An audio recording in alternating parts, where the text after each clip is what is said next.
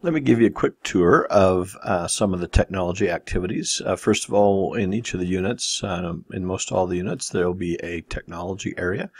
And uh, these are GG for GeoGebra, and they are different kinds of activities that you can do in GeoGebra as you move along.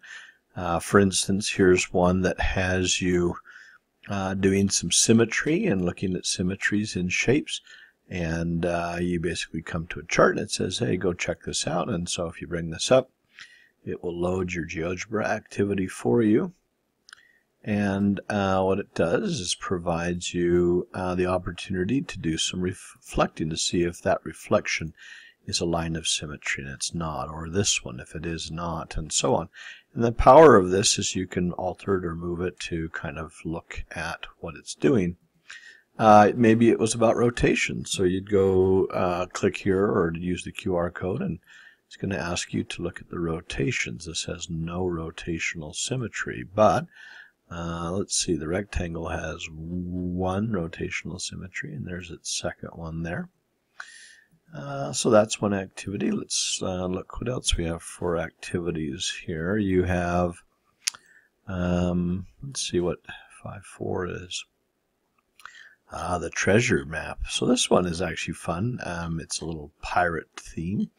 And the idea is that you are going to try to follow instructions to um, find the uh, X marks the spot, the treasure. And you'll be given some sort of a map and then asked to follow those directions to obtain that. That's fun. Let's see. I'm going to try a couple here. Oh, that was that one. Oh, the kaleidoscope. So the kaleidoscope uh, is a great one for reflections and rotations. Um, you create some wonderful shapes that uh, dance and move in front of you. 5, 6, uh, looking at rules of uh, reflections and rotations. Uh, let's see what else we got. This one here I think is a fun one too.